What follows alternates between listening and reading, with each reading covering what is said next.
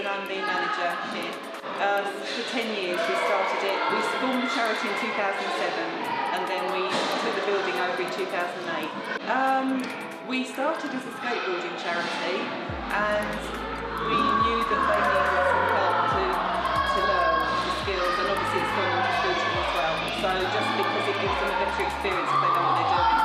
Um, they get much more confidence and um, their self-esteem improves park. Uh, confidence, self-esteem, uh, they learn new tricks, um, they learn to make friends. Some of the autistic ones are actually teaching some of the others and that helps Hi,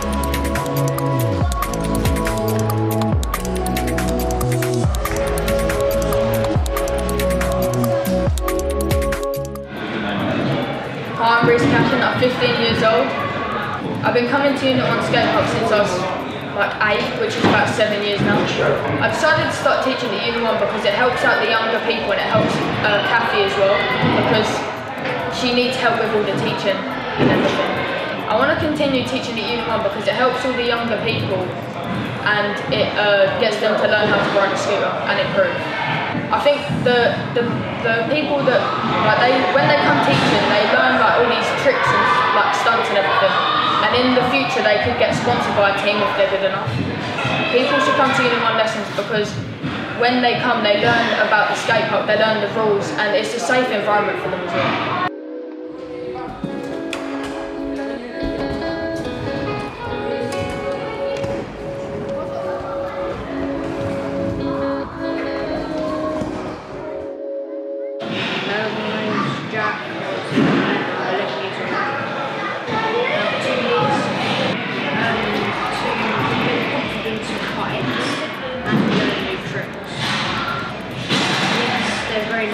Yes,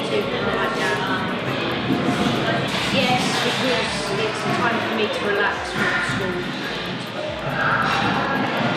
Yes, because there's lots of people around me learning similar stuff. I've learned how to drop into a ramp